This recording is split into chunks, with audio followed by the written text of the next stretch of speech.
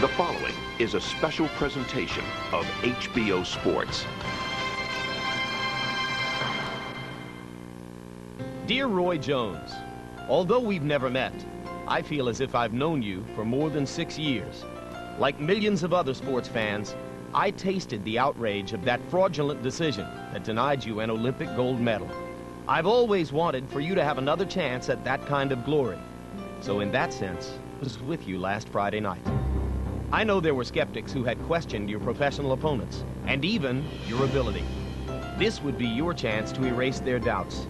That's why you took the gamble of giving up your own title to fight James Toney for his. That's why you put your reputation on the line against a more experienced, more proven, more respected, unbeaten fighter. It was as if you had shouted to the gods of boxing, Please, Lord, give me one chance to prove I am the best. In matching you with James Toney, the boxing gods and your prayers. You were so fast, oh so fast, so good, you made one of boxing's best champions look like just another sparring partner. You even showed the nerve to showboat and the audacious ability to back it up.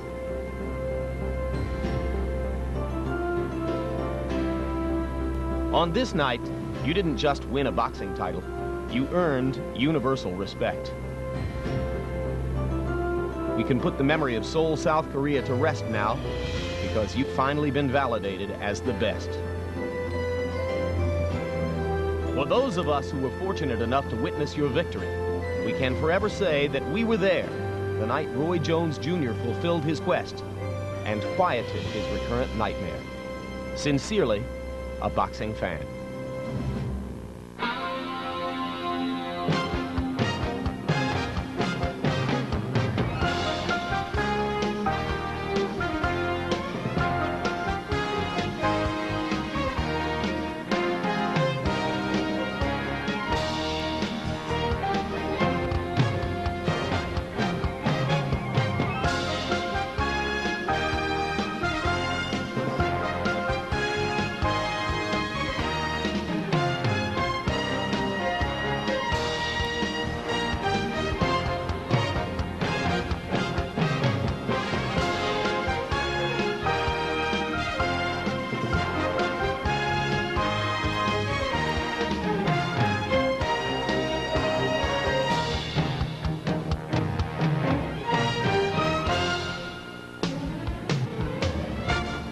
MGM Grand in Las Vegas, 13 days AGF after George Foreman. And once again, this is the scene of another momentous boxing battle. The super middleweight title clash between James Toney and Roy Jones Jr. Two unbeaten boxing champions meeting in the prime of their careers in a match toward which the days have been counted by the boxing public for as much as a year. James Toney against Roy Jones Jr. in this ring, and we were there. Hello again, I'm Jim Lampley. If you're a boxing fan, you know by now that James Toney against Roy Jones on Friday evening, November 18, brought the first loss to the record of a man who going into the ring had the longest unbeaten streak of any champion in the sport and brought to fruition the talent of a man who had long been trumpeted as one of the greatest prodigies to have entered boxing in recent decades. Larry Merchant, in the moments before the fight, you told us that most of the questions surrounding Toney Jones went to Roy Jones Jr., by far the lesser known quantity. Did he, with his performance here, answer all those questions? Yes, and yes again with a lot of exclamation points. The questions about Jones were basically this. Was he a superstar, which his talent, his raw ability, the quickness, and the power suggest that he could be? Or was he a fraud because he had consistently refused to fight the best and baddest fighters out there, which James Toney always had done as a champion? Coming in here, we didn't know if he had the right stuff and the left hook to put any hurt on an outstanding fighter. He answered yes and yes and to all those questions, and he turned what was supposed to be a fight into a terrific solo performance. Virtuoso performance, and justifiably, most of the attention in the aftermath of the fight goes to Jones. But in the days leading up to the fight, and even afterward, a lot of attention has been paid to James Toney's gargantuan struggle to get down to the 168 pound weight limit, and then the bizarre ballooning process by which he added 17 pounds to his weight in the 28 hours between the weigh-in and the time when he hit the ring. Gil Clancy, given all of your experience as a manager and a trainer working with fighters who had to condition themselves and make weight, do you think that what happened to Toney had anything to do with what happened to him in the ring? Well, absolutely. Uh, I've never heard of a fighter putting on 17 pounds overnight. I mean, I had a fighter, Emil Griffith, that was a welterweight champion. He fought Dick Tiger for the middleweight championship of the world. I brought him in at his most efficient weight, which was only 150 pounds. Uh, for this fighter to come in and put on those 17 pounds, it had to blow him up, and he knew he was fighting a fast, fast fighter, and it showed in the ring. He was completely outsped for the entire fight. How big a factor was it? Answer that question for yourself as we go back now and look at all 12 rounds of James Toney against Roy Jones, the hotly anticipated fight of the year, Friday night, November 18 at the MGM Grand. Tale of the tape. And you can see that James Toney weighed in at 167, Roy Jones at 168. They're similar in age, similar in height, similar in reach, but the big story. James Toney supposedly went to bed last night, eight hours after weighing in at 167, and weighed 183. Tonight, before leaving his dressing room to come into the ring, he stood on a scale, and you can see that if this scale is accurate, James told us the truth. He weighed 184 pounds, 17 pounds over yesterday's weigh-in level as he got ready to come into the ring tonight. That's an astonishing One rise in weight. Gil. I don't know if any young fighter that's ever had to do anything like that. Take a look at the punch stat numbers here. Don't know what these mean, except you can see that Toney is a, a busier, constantly busier, and more efficient fighter. Jabs. Jones uses the jab mainly to set up his hooks. He's not really interested in doing any serious business with the jab, but it's his hooks that are, will determine the outcome of this fight. Rules of the bout with our unofficial ringside scorer, Harold Lederman. James Toney and Roy Jones Jr. will box tonight using the rules of the International Boxing Federation. 12 rounds. There is no standing eight count, no three knockdown rule. You cannot be saved by the bell in any round, including the last round. Only the referee can stop the fight. And in case a cut is caused by an accidental headbutt, and that cut causes the fight to be stopped, we go to the scorecards after six rounds have been completed. Before that, it's a technical draw. Jim. Packed house at ringside here at the MGM Grand. And Roy Jones Jr. chooses to enter in a mock tuxedo. You see the designation there, former IBF middleweight champion. He gave up that championship, Larry, for the right to come up eight pounds and challenge for James Toney's super middleweight title. Well, for him, this is his entire career. It's a fight he's been aiming for since he got robbed of that decision at the Seoul Olympics.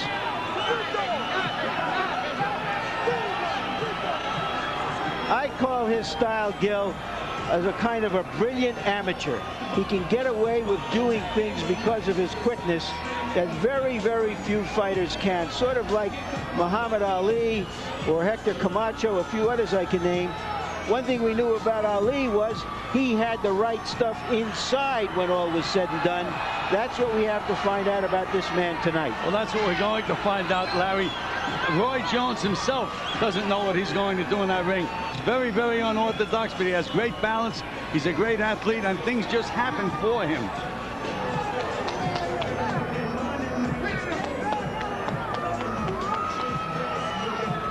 Roy Jones Jr. is unbeaten, 26 fights, 26 wins, 23 knockouts. You see he's listed as the number two IBF super middleweight contender. He is regarded as having spectacular knockout power with either hand. Well, you know, they say that the punch that hurts you is the punch that you don't see. He throws his punches from, from such odd angles that he can nail you, and you just don't see the punch.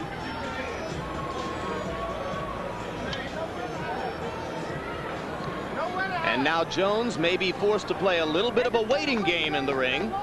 But here comes James Toney. we've, we've got to talk about that weight. I've never heard of anything like this, particularly for a young athlete. When I was playing football, I knew of guys who had a, lost eight pounds in a workout in, in the in the severe. They get it all back by the afternoon. But to put on 16 or 17 pounds in such a short period of time, can it do him any good? I, I think it can do him a lot more harm than good. I think you're supposed to be your most efficient weight, especially when you're fighting a guy that has a lot of speed. You don't want to give up any kind of speed, and putting that much weight back on could certainly slow him up. He may look like he's fighting with cement shoes on. You know, Ray Leonard said an interesting thing before. The conventional wisdom has been that Jones had to get Toney hurt in trouble early in the fight because Toney would come on. But now because of this weight situation, we don't know which way it's going to go. Well, I know that uh, Jones is always dangerous very, very early.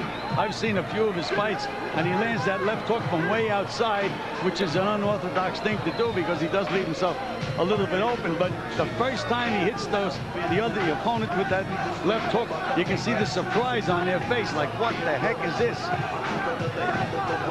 You saw Toney waiting briefly as he refused to enter the ring until the dress system would play his entry music. Now here he comes. Super middleweight champion James Toney Since he won the middleweight title from Michael Nunn in 1991, this has been the most active major champion in the sport of boxing, Larry. Yeah, and that's why he's gotten better and better. The only champion I know of who's been really active during his reign, other champion, is Julio Cesar Chavez. In his prime, when he was great, he, he kept active, fighting fights in Mexico none of us even ever heard of, and it's paid off for him, and it's paid off for Toney so far. One more footnote on the long battle to trim down to the 168-pound weight limit and then the massive weight gain in the 30 hours since. According to Nevada State Athletic Commission Dr. Flip Homansky, rapid fluid loss followed by rapid fluid intake would make someone more vulnerable to bruising and cutting. So we'll have to watch and see if that holds true for Toney tonight. James Toney's record in the ring, 44 wins, two draws, 29 KOs. We've seen him win from every conceivable circumstance by come from behind knockout, by come from behind decision, by early knockout, by late knockout, you name it, he's done it. And now let's go up to ring announcer Michael Buffer for the pre-fight introductions. Ladies and gentlemen, Top Rank Incorporated along with your undisputed, undefeated king of beers, Budweiser, proud to be your Bud, present World Championship Boxing. This bout is sanctioned by the International Boxing Federation with the approval and sanctioning of the Nevada State Athletic Commission. Chairman Dr. James Nave. Commissioners Nat Carasali, Luther Mack, Dr. Elias Ghanem, and Crispin Rivera. The executive director is Mark Ratner. IBF supervisor at ringside, Bobby Lee Jr. Chief Medical Officer in attendance, Dr. Flip Homansky. Attending physicians are Dr. James Wishgame and Dr. Robert Voy. The keeper at the bell, Al Bisick. Counting for the knockdown seconds, Jane Broadfoot. The scoring for this bout will be done on a 10-point must system, and the three judges assigned are Glenn Hamada, John Stewart, and Jerry Roth. And when the bell rings, the man in charge of the action working for the 104th time in a world title bout, referee Richard Steele. And now, ladies and gentlemen, from the MGM Grand Garden, here at the MGM Grand Hotel, Casino, and Theme Park of Las Vegas, Nevada, somebody's O must go. Ladies and gentlemen, uh, let's get ready to rumble!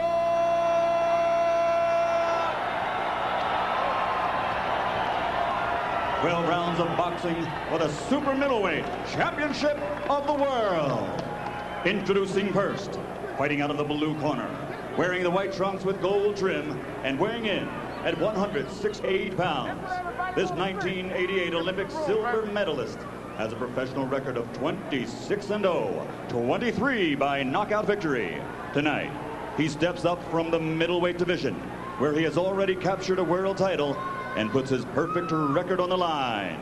Ladies and gentlemen, from Pensacola, Florida, introducing the challenger and former middleweight champion of the world, Roy Jones Jr.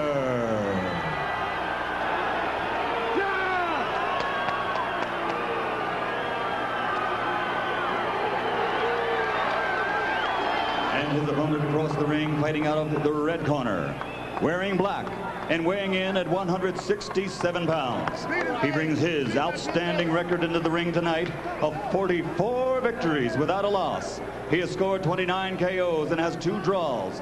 And while compiling that record, he has captured two world titles. Ladies and gentlemen, from Ann Arbor, Michigan, presenting the two-time world champion and reigning super middleweight champion of the world, James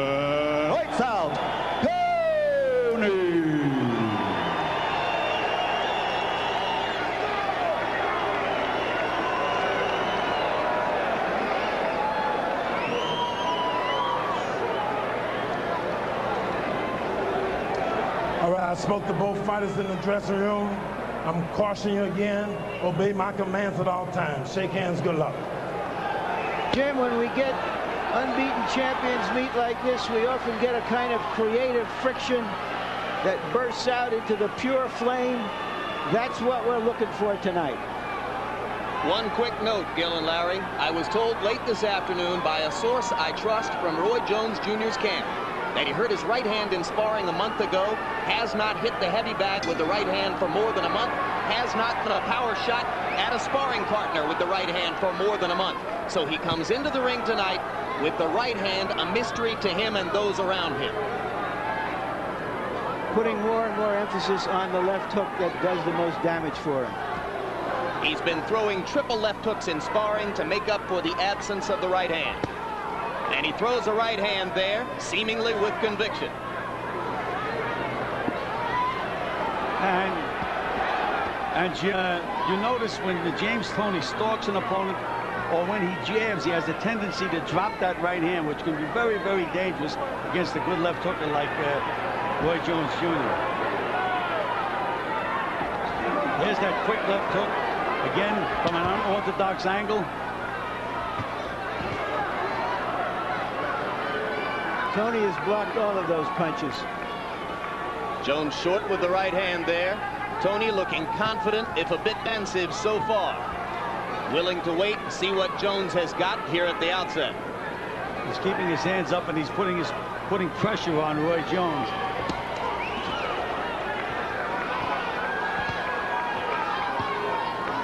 And again, you can see the quickness of Jones, that side-to-side -side movement. Jabbing and hooking with the left hand. Only a couple of right hand shots so far by Jones. Nothing has landed. Toney has been cautious and measured in his approach. Right hand misses for James. Hunt to get out. Hunt to get out. Double left hook by Jones. Right hand was a glancing blow.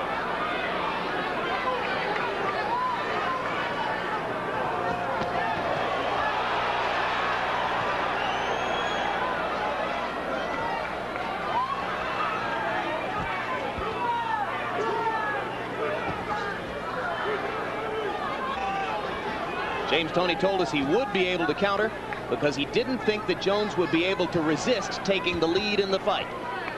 Up to this point, Jones has been doing all of the leading. There's a quick right hand by Jones, and it looked okay there.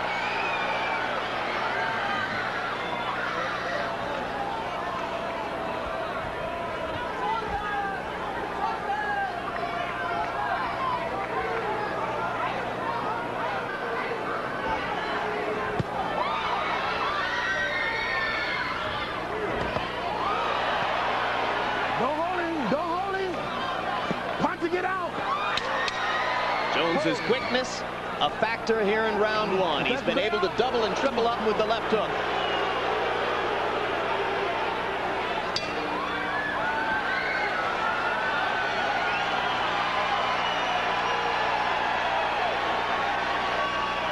He wasn't good. He's catching that hook. That's the that we got to take away from the hook. When you catch the hook, come back with your hook. Catch the hook, come back with your hook. Cutting the ring off of make you miss them shots, especially the right hand. You, you, you, you can twist on the right hand, counter the right hand, but keep that hand. He ain't getting in already. It's gonna sit that hook up. You'll catch him clean sooner or later. Way to work. Deep breath. Okay, we're ready. So you stop pulling, babe. Way to work. Way to work, champ. Keep control. You heard Bill Miller talking to James Toney. Watch the left hook. Just watch the left hook. And when you catch it or duck it, throw your own left hook. Good advice, Gil? Absolutely. If, if he could nail Jones, if Jones misses that left hook, doing an awful lot of damage. And there's, there's Toney trying to get off that big left hook. It was blocked by Jones. Toney looking like he wants to open a little bit more in this round after an exceedingly cautious first.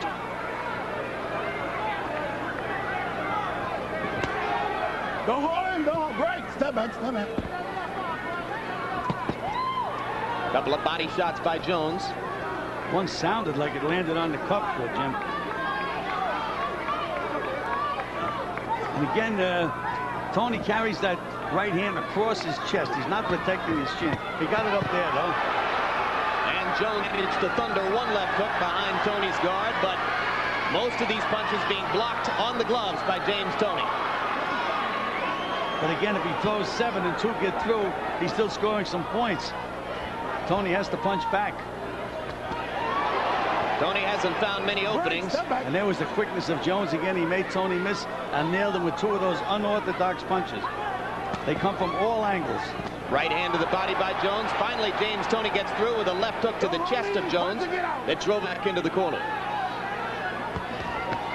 Good right hand lead by Jones.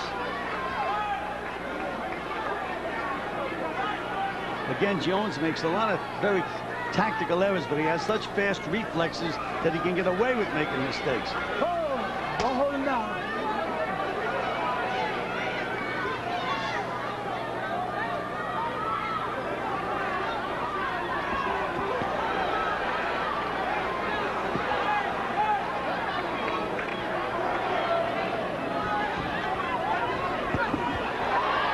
There's that quickness.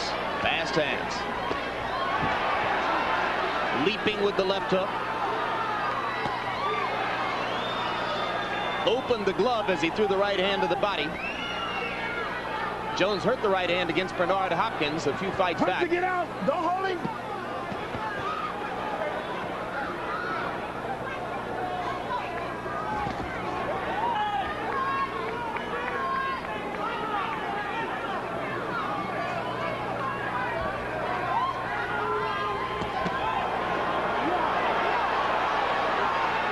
Toney sneaking the right hand after Jones had landed over the top.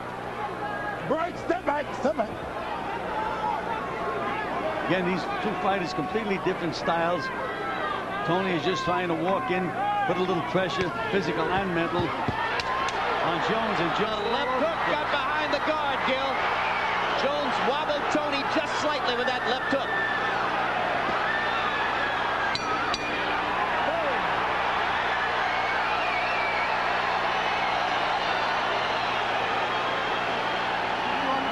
You look, tighten up a little bit. I know that. We got to shots up a little bit. uh, So when you can catch him when he comes in. Uh, uh, especially when you're twisting with the right hand, back with the left hook.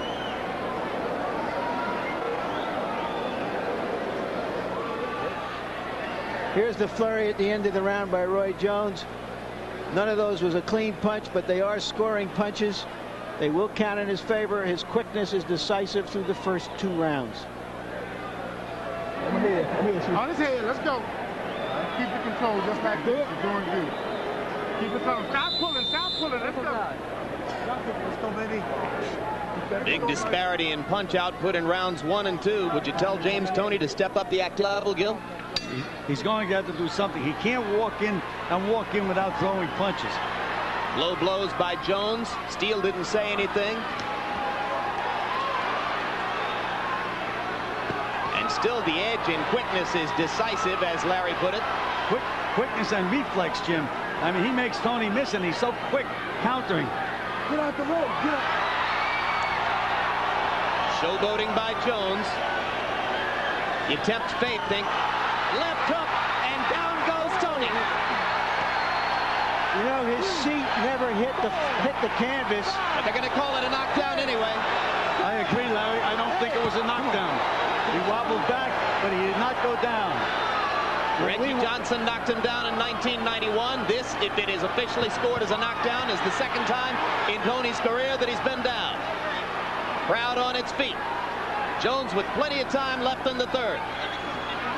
Up to this point, it looks at added weight that they put on uh, on uh, James Toney is a, an albatross around his neck because Tremendous he's very, very slow. Or maybe his Jones is just that fast.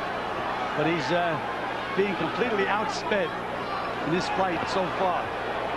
Jones looks fast against everybody, but he certainly looked faster against Toney than some might have suspected.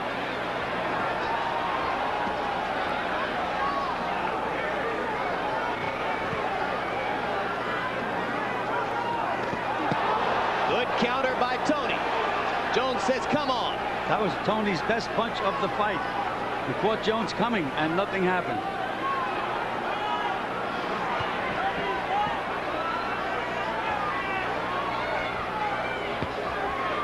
Right hand lead by Jones. Punch to get out. Unorthodoxy playing in his favor now. He's fighting with so much confidence, Jim.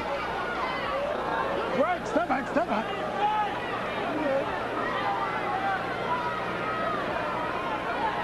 Well, if he didn't use the right hand in sparring, he's using it here, and so far fairly effectively, although most of the heavy metal has come from the left. Yes, but he has, again, he has thrown that right hand to set up the left hook. Sweeping left hook by Toney. Come on, punch to get out, yeah. And more quickness inside from Roy Jones.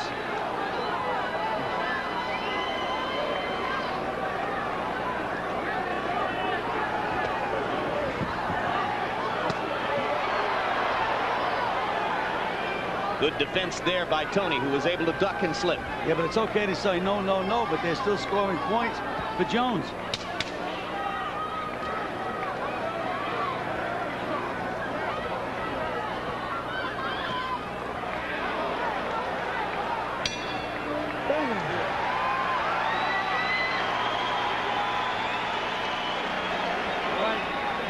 Timing that right hand. Just a little off the mark. When we can get it on the mark, we take the right hand away from you. Yes. All right. It's just a little off the mark. But when you're, jab, when you're going in jabbing, double up on the jab. I wouldn't drop. Here's part of the debate going on with hand gestures and fists. We don't see from that angle whether Jones indeed went down. Perhaps we'll have another angle that we can't see it. Here it'll tell us right now. You see his his behind never hit the canvas, Gil. Absolutely. I did not think it was a knockdown. He did stagger back, but he didn't go down. Harold Lederman, let's open Harold quickly. Why might that have been scored a knockdown, Harold? Jim, if the if the ropes are holding you up, if the ropes wouldn't have been there and you would have hit the canvas, that's a knockdown under the rules. So in your view, is that a knockdown? A knockdown for sure. All right, round four begins. And given the knockdown, you've now got at least the possibility that Toney's four points behind on all three scorecards. Not necessarily, but it's possible. Well, he's digging himself a big hole right now. Uh, we've seen him come back in the past from, from bad cuts, etc., etc., but uh, he can't get too far behind with this will of the wisp he's in there with. You heard Bill Miller tell him to keep throwing the right hand, and he was trying it there, but he missed wide. Well, he, in my opinion, he should be concentrating on the body. Another left hook by Jones. That one didn't stun Toney, but it prevented him from throwing anything in return. Toney just not able to counter effectively, Gil, except for one time so far.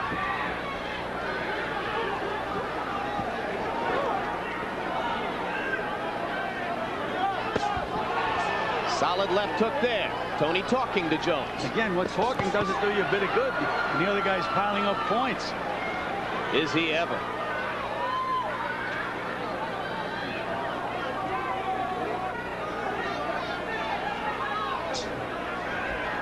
Toney just looks like he can't get off. Whether it's Jones' movement that's bothering him or with the extra weight that's bothering him, something's bothering him because he traps uh, he traps Jones and gets beats to the punch time after time. Well, there was a good counter right, and he came with another right cross behind it.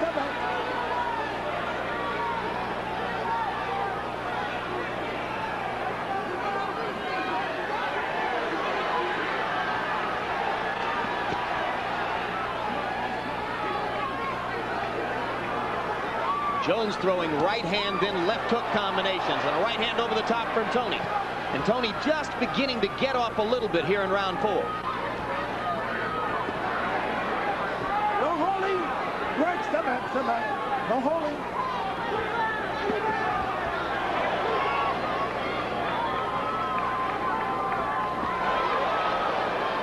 Right, right, step back. Step back in.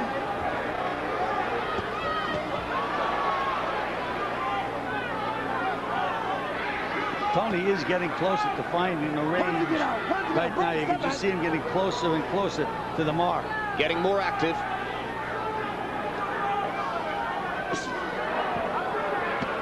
Right, step back, step back. You hold it.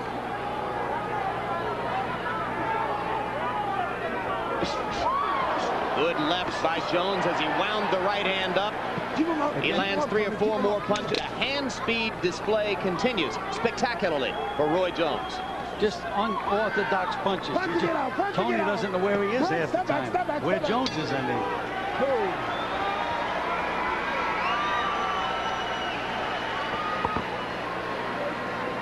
We're getting a little closer to him now. We're getting a little closer to him now. When you hit him with the right hand, come back to the hook. Woo! Having fun, baby.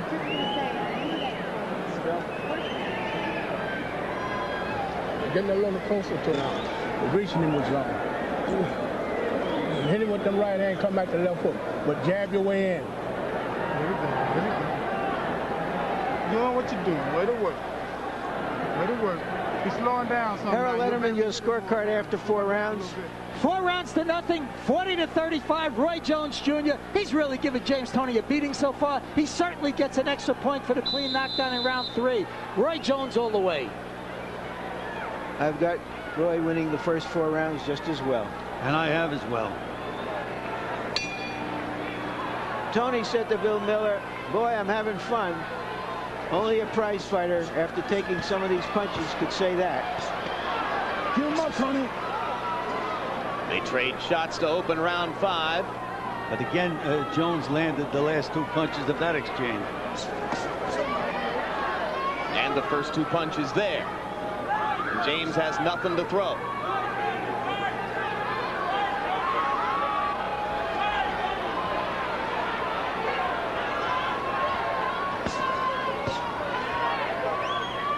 Two more left hands. His unorthodox movement and Right, his unorthodox step back, punches step are completely befuddling James Toney up to this point. Right hand, left hand combination by Jones landed. Toney landed a left in return. Toney starting to snap to it a little bit, but still outgunned in almost every change. Toney has got a punch to the body. Can't. That's where those punches belong. Stay downstairs for a while, then that head will come to you.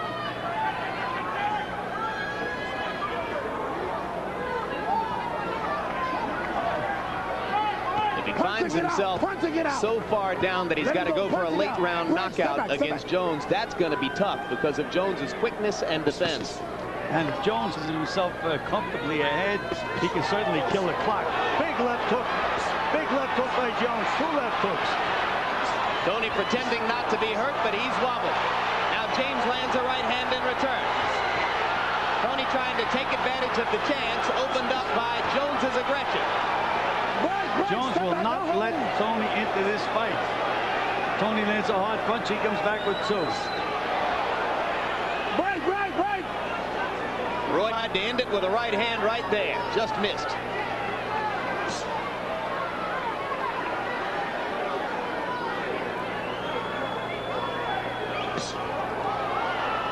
Right hand counter by Toney, but Jones was moving away with the punch. Here's where Joe, Toney has to get off. When he has him on the ropes, he's got to bank to the body immediately. He's got to be busier. That left hand landed, but it was a glancing blow. Talk about unorthodox. He spun around and landed, landed the uh, left. Jones is supposed to be the unorthodox guy.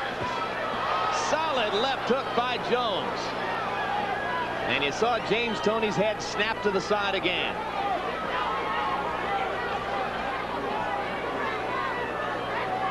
Toney's got the lunch pail out. He's starting to go to work. But Jones continues to box circles around him and land the heavier shots as well. Oh, Jones certainly answered some questions about whether he has the right stuff inside him in that round. Well, he got nailed with a couple of punches, Larry, but again, he would not allow Toney to take the edge right back. Get it in back. Okay? There you go. You're doing good. The sixth round, baby. Coming in the sixth. Coming. Okay. Here, here. Coming in the sixth. Once again, let's watch fast hands if we can see him, because James Toney doesn't uh, apparently able to see him. There's a perfect example of an unorthodox punch coming when you leave, when you don't expect it, Gil. And you don't see it. Those are the ones that really can get to you.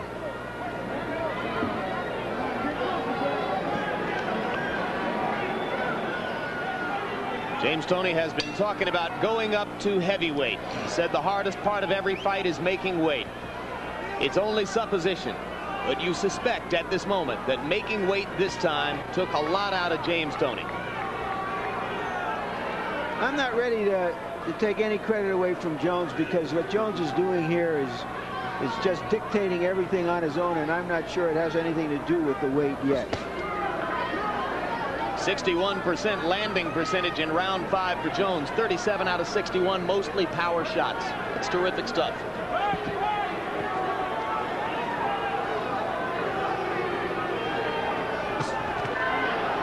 Hook on the button by Roy Jones Jr. And you notice that Jones doesn't set things up with a left jab. That's the unorthodox part of his style.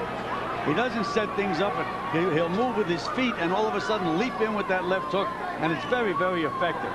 But again, by doing that, he leaves himself open for a split second.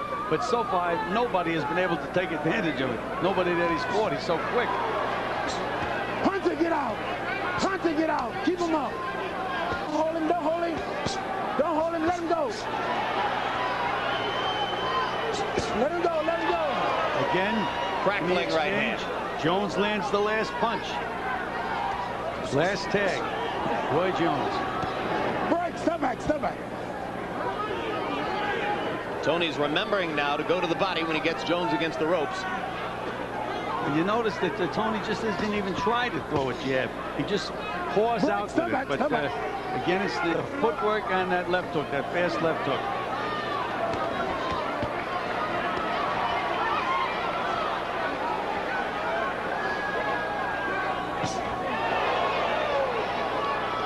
Crowd oohing and dying with yet another left hook. Same thing every time. There's no no jabs involved. He doesn't have to feint the jab. He just leaps in quickly, gets an angle, and bang, right, right in there with that left hook. And if you had told James Toney two days ago that Roy could do that, he'd have said, no Hunter, way. get out. Hunter, it out. Break. Step back. Step back. But you're right, he's done it all the way through tonight.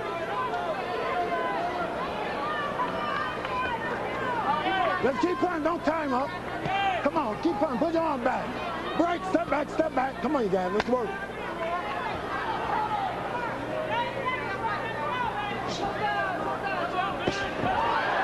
There was a question again where Toney was just too slow getting off, and instead of Jones waiting to block a punch, beat him to the punch.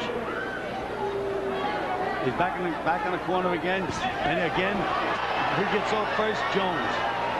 Halfway through the battle for James Toney's IBF Super Middleweight Championship so far. A spectacular, virtuoso performance by the challenger, Roy Jones Jr.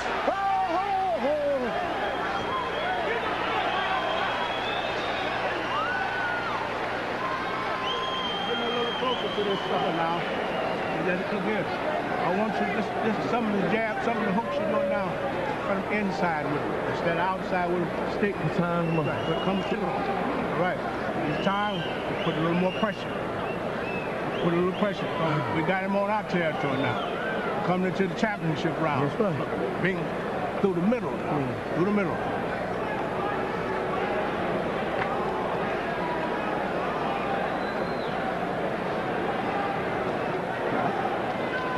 Try to make he's flicking for everything you do. Every time you flick at him, man, he's going for it. All right. Okay. Although we're only halfway through the scheduled 12 rounds, we're already at that stage where James Toney looks like he's going to have to do something dramatic to get back into the fight. It would have to be very, very dramatic, Larry, like a knockout. We're counting that knockdown. He's already uh, seven points behind, and he's got six rounds to, to catch up. He's done it in the past, but maybe not against fighters the quality of Roy Jones Jr. He was down on points when he knocked out Nunn in the month to win the World Middleweight Championship in 91. He needed to knock out Tim Littles in a specific round because of a bad head cut to win that fight and did it against a fighter who'd never been down or out. So it's not out of the question, but this is still all Roy Jones as round seven begins. But again, um, again, solid left. Toney in a little bit of trouble. Again, Jones is really never directly in front of of uh, James Toney. He throws angle shots, and Toney really doesn't know where the punches are coming from. There was a foul by Roy Jones. We have the rope and use that for leverage. Right, step back, step back. Don't hold the rope, don't hold the rope. And Steele tells him not to do it. James Toney just completely befuddled by Jones's speed, unorthodoxy, quickness. Again, Toney, he's, he's playing hide and seek with Toney in the ring. We're a ring, they're both inside of it. Half the time, Toney doesn't know where he is. Yeah, waiting against the ropes. What in the world can Toney do, Gil, to nullify the effectiveness of Jones's left hook? The only thing he can do is start banging to the body.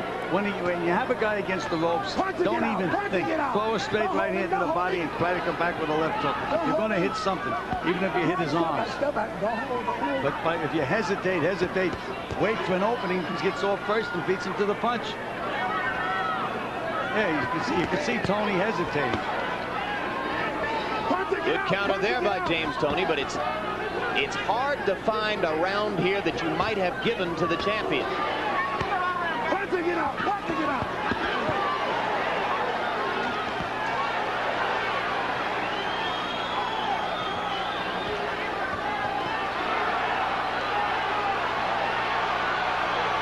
What other middleweights could throw combinations with that hand speed, Gil? I, I, I, would have to go back a long way, maybe to the days to Sugar Ray Robinson. He can throw punches that fast and that Come on, effective. Work, work, work out. Work your way out. Punch. Your hands are free. Pull your arms back, Roy. Pull your arms back. And remember, this is 168 pounds, eight pounds up from the old middleweight limit of 160. Uh, again, again, uh, Jones comes back in the exchanges. Good left hook by James Toney. Best punch of the fight for Toney, the left that ended round seven.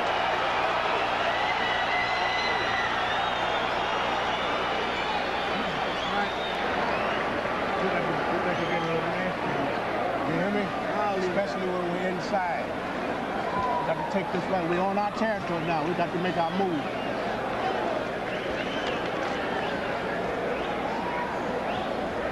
Harold, seven rounds, your score. Larry, 70 to 62, seven to nothing. Roy Jones. I never saw a super middleweight throw six, seven, eight punch combination like he throws. He's absolutely beautiful. Unless you have to, okay? we go. He weak in his legs, man. He can't move. I know he he can't move though. You can hit him all day, keeping at your range.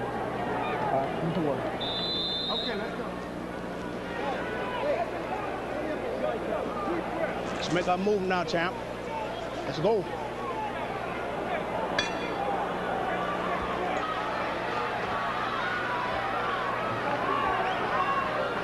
Rounds left.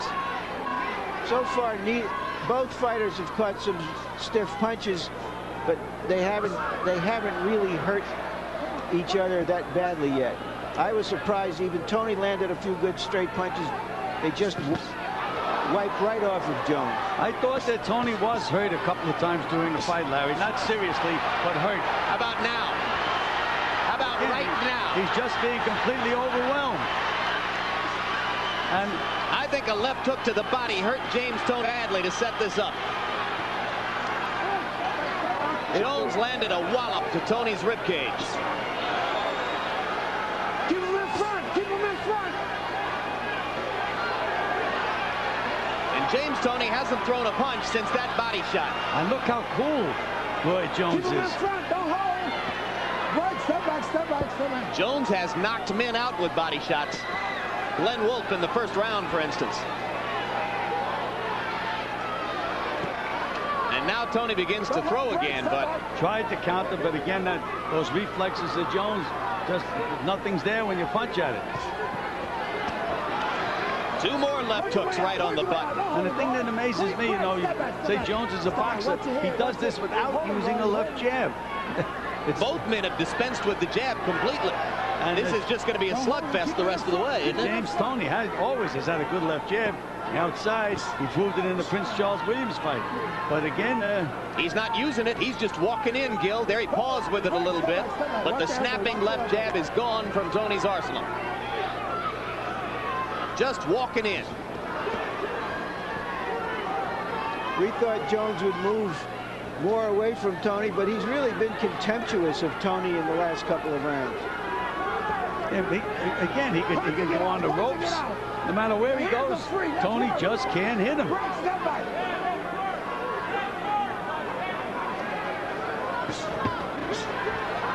Sledgehammer right over the top by Toney. Hard to get out. Lancing blow. Didn't get all of the target. Again, in that exchange, last tag by Roy Jones. Come on, man. Come on. Toney showing some assertiveness now, but he took a lot of this round off after he took that crushing left to the body early on. There's a left hook by James Toney.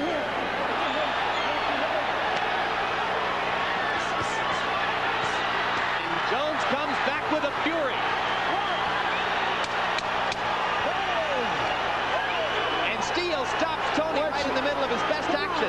What is Steele doing? What is Richard Steele doing? think he thought he heard the bell. And now he does hear the bell. And that really hurt James Toney.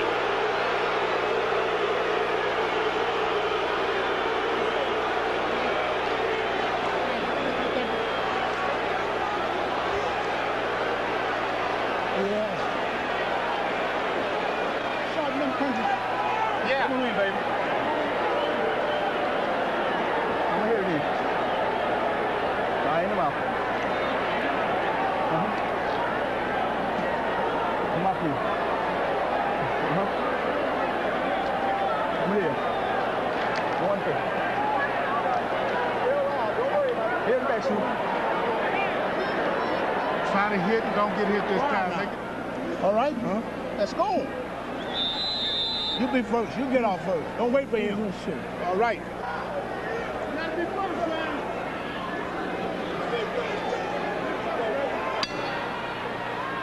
Round nine begins. You saw the champion breathing hard in his corner. Right now, this 168-pound championship belongs to Roy Jones. It's up to James Toney to win it back.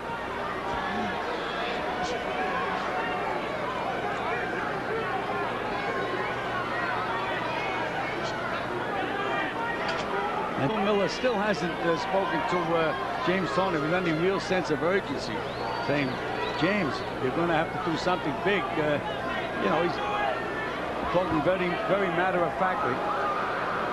Slipped by Jones, and Toney didn't, did not take advantage.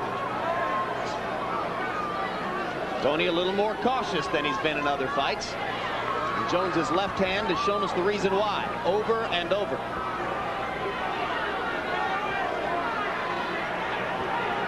Said before the fight, Larry Merchant, that Roy Jones Jr. was a mystery. How much of the unknown is left now? Well, beyond any question, he's answered a lot of a lot of those questions. It's in his grasp. Get out. Break. Step back. Step back.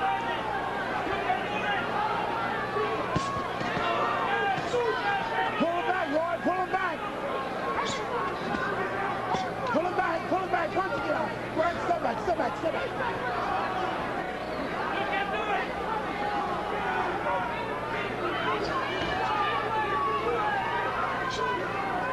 Looks as if Roy Jones is taking a round off. He may take the next, the rest of the fight off, Gil. Punch to out. Punch to out. Break. Step back. Step back.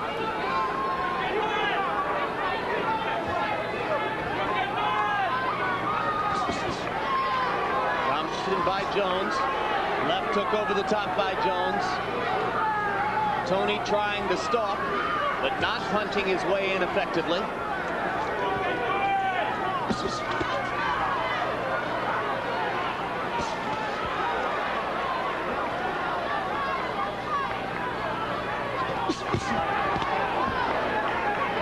Short left hook by Jones, the more effective of the two punches there. Toney's sweeping left, missed badly. Look at that footwork of Roy Jones, side to side.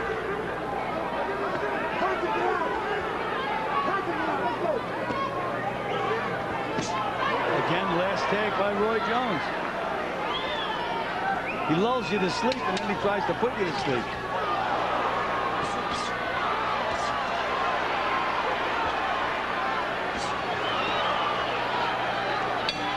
Three to go.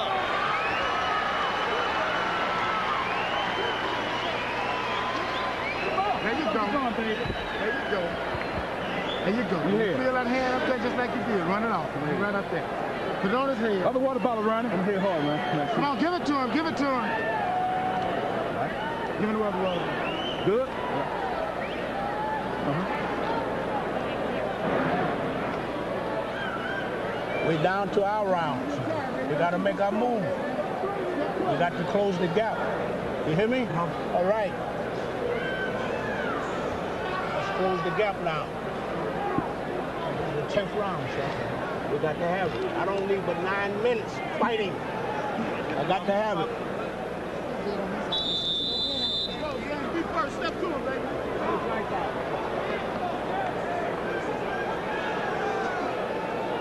So far, the Mongoose is too quick for the Cobra.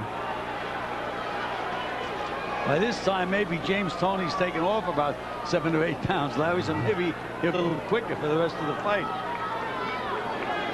To see so far what he could find that would do the necessary damage to Jones at this point. Well, one big left hook or right hand on the chin uh, Could help. at this weight. Uh, and the other guy can do a lot of funny things.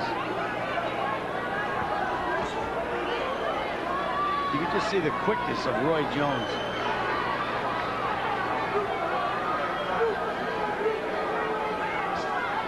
Constantly moving, constantly feinting. Don't hold him. Punch to get out of there. Pull him back. Pull him back. Right. Step back. Shane. Step back.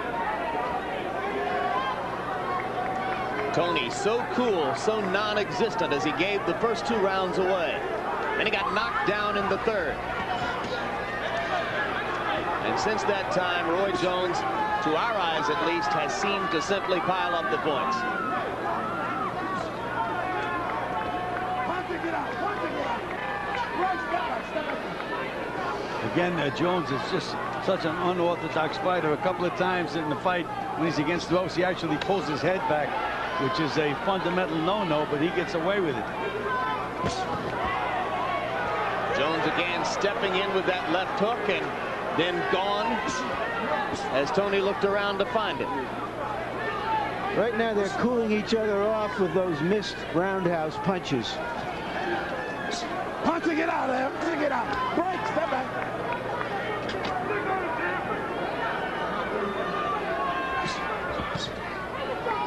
Don't hold him up.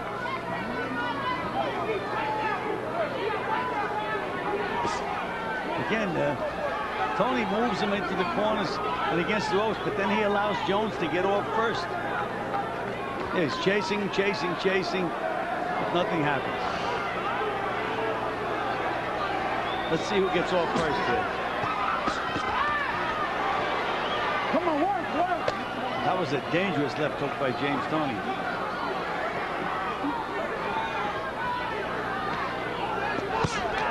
Punching it out, punching it out. Thunderous right inside by Jones.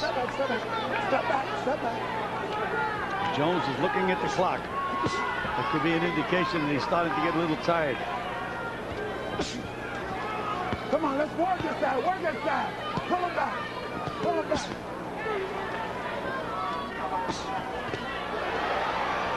Chopping right hand for Toney. Jones was moving away with the punch.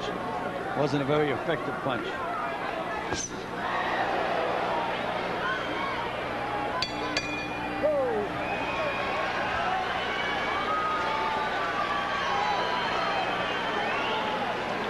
got to have these six minutes if we want this fight.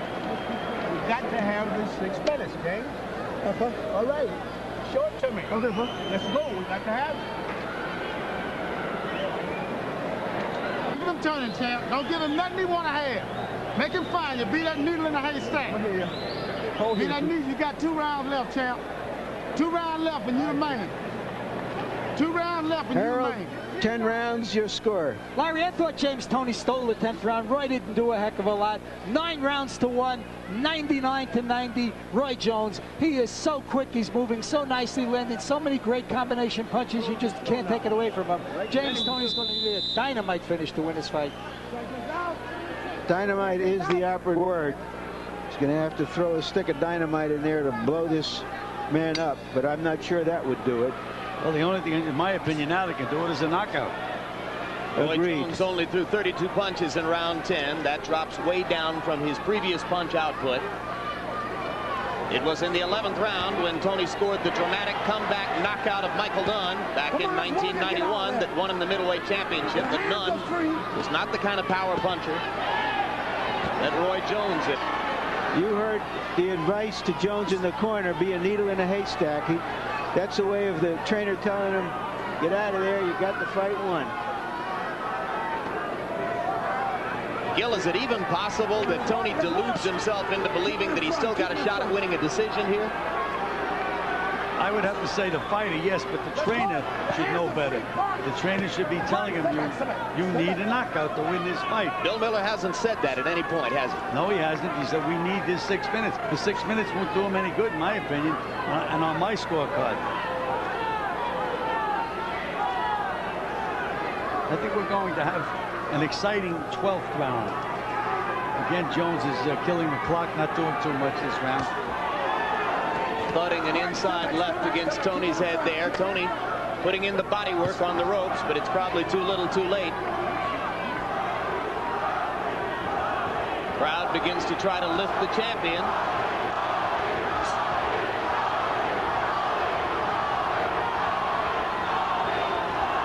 Well, this goes to show you that James has built a following in his three years as a world champion. Or there are a lot of people who bet on him. Jones nailed Toney with a solid left hook. And Toney wobbles just slightly against the ropes again. Look how calm Jones is in there. Sending range punches, then hard punches. He's doing it all.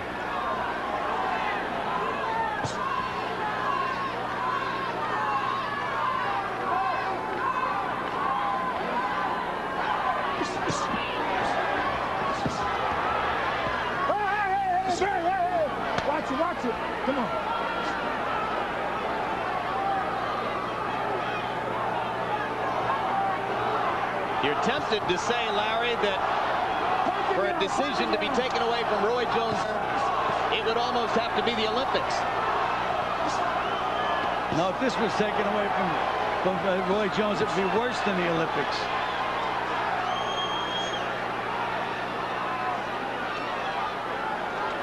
He may have been a little tired before Jones, but he's got a second win. He's right back in there now. And still, James Toney showing none of the desperation style commitment that we all think would be necessary for him to salvage the fight.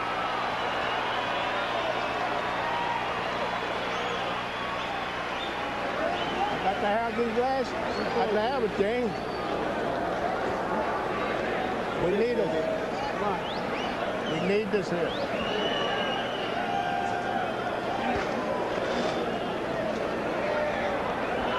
I got to have this here. We need it. There's no more tomorrow. This is it. On your head. Okay? I want you to touch him, put them three and four point combinations on him and go. On your head. I'm on your head. Let me talk. and final round. Okay? Roy, listen to me. Don't give him a chance. Don't give him a chance to take nothing, okay? Good. Oh, pick that piece of ice over there, Bill. Next to it, your foot. Okay. Go get him. Give it to me. Ah. Give it to me. The corner of the undefeated champion with the best record of any undefeated world titleist in the sport, there was silence for the last 20 seconds of that one-minute break between rounds. Nobody said to James, you must have a knockout to win the fight. Now here comes Toney with his last three minutes to try to get something done against aspiring super middleweight champion Roy Jones. Toney just takes so long to get off. He allowed Jones to escape. He's feinting, feinting, feinting. What is he waiting for?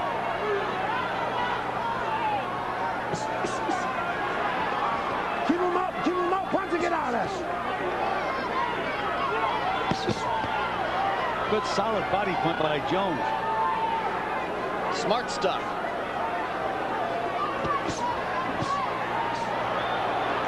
Keep him in front. Keep him in front. At what point, Gil, does Jones simply try to stay away? Well, the way they told him in the corner that don't take any chances, but throw some good solid punches. I mean, I, I know if I was in his corner, I'd be saying, they just kill the clock. You got the fight won. I didn't do that too often, but when the, when the guy's this last far round. ahead, why take any kind of chance? Punch to get break. Step back. Step back. I, I used to always tell Last my round, you fighters, got it. Let's you have to win the last round, especially if you're near the guy's hometown. Yeah, but you wouldn't have told Jones tonight that he had to win this last round, would you? No, I would not have. As they say, he's, in my opinion, there- there's back, no step way they could take it away from him. It's been a spectacular display by Roy Jones. He continues to step in and fire the left hook from time to time. And Toney simply not busy enough to be building toward the climax he needs. He just can't get off. Can't get off. Don't He's, push. The, the movement has been puzzling him all night long. Big right hand by Jones. Right on the button. One minute to go. Big left hook by Jones. Yet another Break, one. break, break. And these are solid punches, which means that Toney has to have a chin of granite. Punch to get out. Break, break.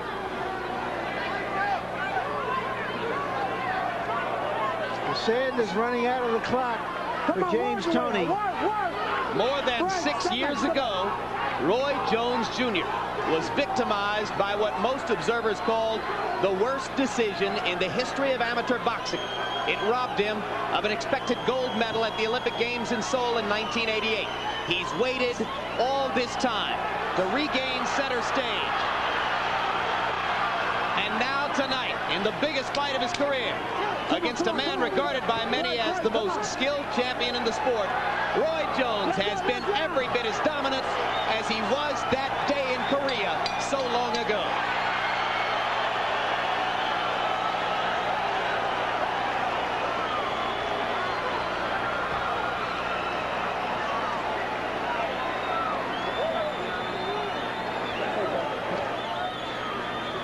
Given the kind of fighter that James Toney has been over the last year and a half, that's just a terrific performance by Roy Jones. Yes, it is. And, uh, you know, they, we had mentioned about putting on all that weight. And I was told that he had done that in quite a few fights, but that eventually has to catch up with you, Larry. I don't think that uh, James Toney was on top of his game tonight. I know Jones was great, but Toney was not Toney tonight. Yeah, but I'm I'm in Larry's corner on this one. Let's not harp on that too much because any harping on it takes away from a spectacular performance by Roy Jones, which, in my view, and, and yours, Gil, answered just about every remaining question Oh, about it. I, I thought he was absolutely great tonight. Again, he, he's a very unorthodox fighter. He does things his own way. I don't think he even knows what he's going to do, but boy, it's effective. The fight plan for Jones was for a lot of power shots and very few jabs. He followed it to a T. Let's go to the ring announcer, Michael Buffer, for the official decision. Ladies and gentlemen, here at the MGM Grand of Las Vegas, we go to the scorecards. John Stewart scores the bout, 119 to 10. Glenn Hamada scores it, 117 to 110. And Jerry Roth has it, 118 to 109 for the winner by unanimous decision. And new super middleweight champion of the world, Roy Jones Jr.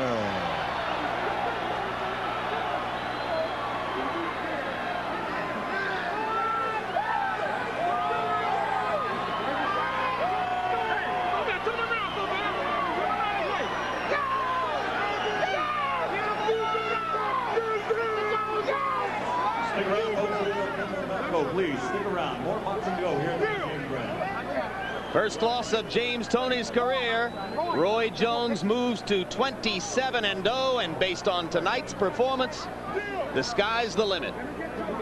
So in the end, it was the near whitewash we might have anticipated on the scorecards. Only one judge, Glenn Hamada, finding a way to give as many as three rounds to the champion, James Toney. Little punch stat numbers reflect Jones's dominance in the fight. You can see that he threw 163 more punches, landed 128 more punches, and at a much higher percentage than Toney. And an interesting wrinkle. Roy Jones's fight plan was to dispense with the jab and throw power punches to make it more difficult for Toney to counter. Toney, far behind on points, eventually dispensed with the jab himself. The net result? Of all the punches thrown in the bout, 75% of them were power punches. Jabs were almost non-existent in the late rounds. After Roy Jones's overwhelming victory over Toney, Larry Merchant spoke to both winner and loser in the ring. What did you know personally about the difficulty he was having with weight? Well, I come from 178, sometimes 180 to make 160. That's a very tough thing to do and fight 12 rounds. Yeah. I'm a lot bigger than guys. Most times a lot faster, but it's tough when it's fat. And I wasn't, I wasn't fat. I just be thick at 178 most of the time. But, uh, yeah, man. Thanks, baby. Hey, good work. Yeah, hey, good work, baby. Hey, hey. You all right? Hey, yeah. He is. Hey, yeah. Good boy, baby.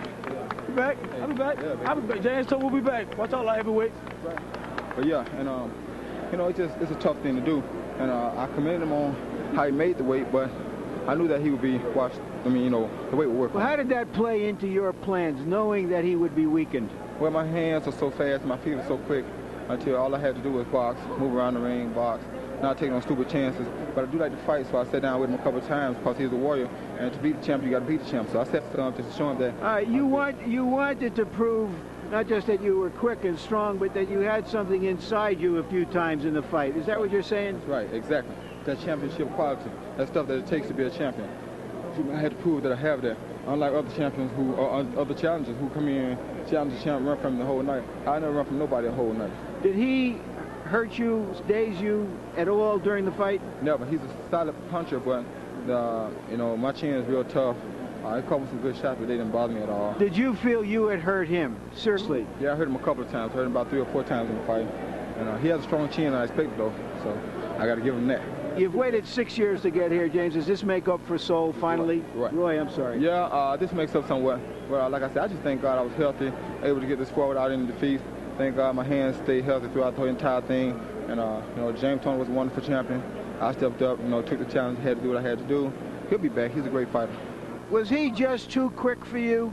No, I wasn't at that. I was, like I said, I was tired. My weight, from weight loss and everything. I ain't, I ain't got, I ain't got to hold my head down, bro. Did I got to hold my head down. Did having to take off so much weight before your fights finally catch up with you? Is that what you're saying? Probably did, but you know it don't matter. He didn't do nothing to me. Now I feel good. I'll be back. I'm a great champ. I will be back. I will be back. Did he ever hurt you, for particularly when he knocked no, you down? That wasn't no knockdown. I was off balance. I was ducking out the way of his punching, and I fell. All right, we're going to try to run that up and see if you can describe. Now, here you were doing some posturing just before the, the knockdown. Explain to us. I'm ducking out the way. See? He pushed me right there. See it? It's a push. It's a push. It was a push. You see that? I wasn't hurt nothing. I came back and forth. You never hit the canvas yourself, did no, you? Never, never. It's my gloves. But you must certainly be disappointed after so many outstanding fights, undefeated, fighting so often, to be mastered in this way. I wasn't mastered, you know, I just had a bad night. I'll be back. Like I said, I will be back. It's a good fight. Tip my hat off to him. The man won the fight fair and square. I ain't got no excuses. He's a better man than that, but I will be back, though. That's a light heavyweight. So now we look ahead to the future. What will Roy Jones do as a champion at 168 pounds? What will James Toney do? You heard him suggest in the ring that his next fight would be as a light heavyweight with a 175 pound weight limit. Uh, Gil Clancy, obviously, Roy Jones looks ahead to some terrific marketability as a new superstar in the sport. But who's he going to fight? Well, I only see one guy out there that could make it interesting, and that's Gerald McClellan, and only because he can punch. But it's more likely that uh, Roy Jones Jr. will pitch another shutout. And then? He may have to move up in weight. I mean, I had Emil Griffith when he was welterweight champion. He ran out of guys to fight, had to move all the way up to middleweight. And I think that Jones may have to take that next step up and maybe fight a Virgil Hill for the light heavyweight championship. Wouldn't it be a shame to see him lose the chance to continue performing at this weight level where he is so obviously a natural, spectacular talent? Well, that's boxing. I mean, that's what happens. If there's nobody out there for him, he will have to move up, make that sacrifice. And that's part of the business of boxing, and we'll see what happens with that in the months to come. But right now, a final word on Roy Jones's artistic presence in the ring against James Toney. from you, Larry. Well, I think all of us came here for more than the championship fight. This kind of a showdown brings something else out of us. Out of us, we wanted to collect a memory uh, there have been so many references in the last weeks to all those great middleweight dramas of the 80s. Hagler versus Leonard versus Hearns versus Duran, and we were looking forward to something like that tonight. I'm not sure if it was Toney's gluttonous ways that made him a glutton for punishment tonight. It seemed to me that no matter what James Toney did, he was going to get licked by Quick, by Roy Jones Jr.'s Quick, and perhaps that alone will stamp this event indelibly in our minds when we look back on Roy Jones' career. Indeed. The three of us will have more to say about boxing in just a moment. But right now, let's look ahead to some upcoming entertainment events here on HBO. The HBO original movie, coming in December, only on HBO. Back to the subject of boxing for a moment now as we look ahead to the next edition of World Championship Boxing here on HBO. It'll be December 3 as former heavyweight champion Riddick Bowe goes into the ring here in Las Vegas against young heavyweight contender Larry Donald. Gil Clancy, what challenge, if any, does Donald pose to Bowe? Well, Bowe is the challenge for Bowe. He has to get back into the condition that he was when he won the heavyweight championship of the world. Uh, against Larry Donald, uh, not a big puncher or anything, but he's a well-conditioned guy. And his manager, Robert Middleman, called me and said, definitely Donald will win the fight. We have Bowe right where we want him. Robert Middleman managing the slick, quick former Olympian. He was a member of the United States Olympic team in Barcelona in 1992. And Larry Merchant, why would Middleman and the people around Donald believe that they have Bowe right where they want him? Well, most people think the fight is premature for Donald. He's 17 and 0, but he hasn't fought any stiff opposition yet. But they just think they can jump on a Bowe who is still depressed from losing his heavyweight championship uh, back to Evander Holyfield and being out of the heavyweight picture for now. And nobody knows whether he can get it again to get on the scale and be in shape.